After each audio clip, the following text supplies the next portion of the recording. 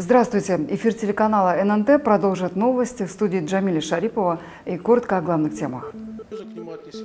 Старые лица, новые назначения. Мурат Алиев занял пост заместителя министра строительства Дагестана. Субботник на пляже в Каспийске. Горожане общими усилиями создают чистоту на берегу моря. Заммэра Махачкалы Мурат Алиев назначен на должность заместителя министра строительства Дагестана. Накануне соответствующий указ был подписан премьер-министром республики Артемом Сдуновым. Напомним, с 2017 года он работал заместителем главы города. В ноябре прошлого года после задержания в Рио мэра Абусупьяна Гасанова Алиев занял освободившийся пост. После назначения нового мэра Махачкалы Салмана Дадаева он перешел на должность его первого заместителя.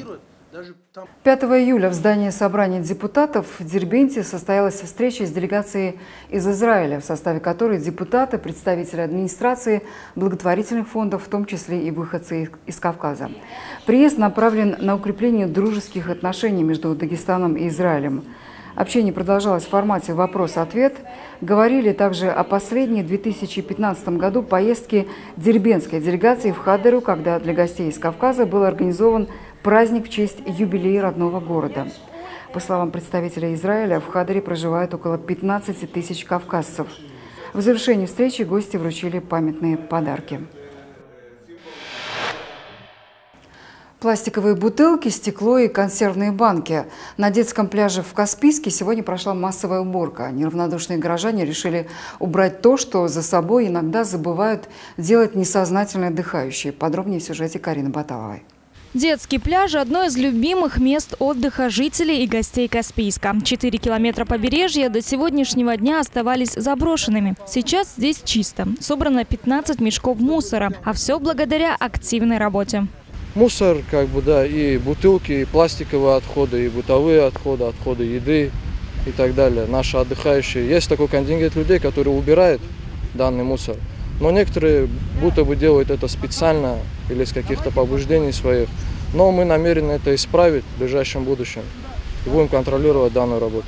Помимо мусора, на этом участке есть еще одна проблема. Из-за прорыва в ливневой трубе вода просачивалась наружу, создавая тем самым идеальные условия для роста камыша. Искусственное болото разрасталось с каждым днем. В данный момент мы камыш значит, э, скосили и э, будем разбираться с прорывом. И если устраним утечку, потом э, будем окапывать траншею для того, чтобы э, вся вода в одном месте собралась. Я думаю, в течение недели мы этот участок приведем в порядок. Работа кипит с 9 утра. Но ребятам-спортсменам к такому режиму не привыкать. Они признаются, лучший способ помочь городу – это сделать его чище. У нас по утрам тренировки, вместо тренировки пришли убрать пляж. Думаю, каждый бы рад был бы, если порядок, был бы чистота, если не было мусоров на пляжу. И вот пришли, решили помочь. Организаторы акции не намерены на этом останавливаться. В начале учебного года в планах работа со школьниками и студентами колледжей. Карина Баталова, Салман Гетихмаев, Новости ННТ, Каспийск. В Дагестане прошли межрегиональные соревнования по пожарно-спасательному спорту. В течение четырех дней 170 спортсменов-прикладников из восьми регионов нашей страны боролись за первенство в различных дисциплинах. Среди них подъем по штурмовой лестнице, преодоление полосы препятствий, пожарная эстафета и боевое развертывание –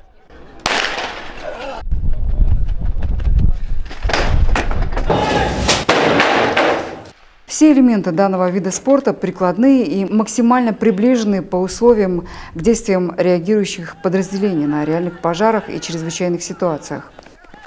Первенство ЦСВДПО. Данное соревнование проходит в восьми субъектах Российской Федерации для отбора на чемпионат России, который будет проходить в городе Санкт-Петербурге с 29 июля по 3 августа, куда мы будут, где будут представлять свои субъекты, федеральные округа 15 лучших команд.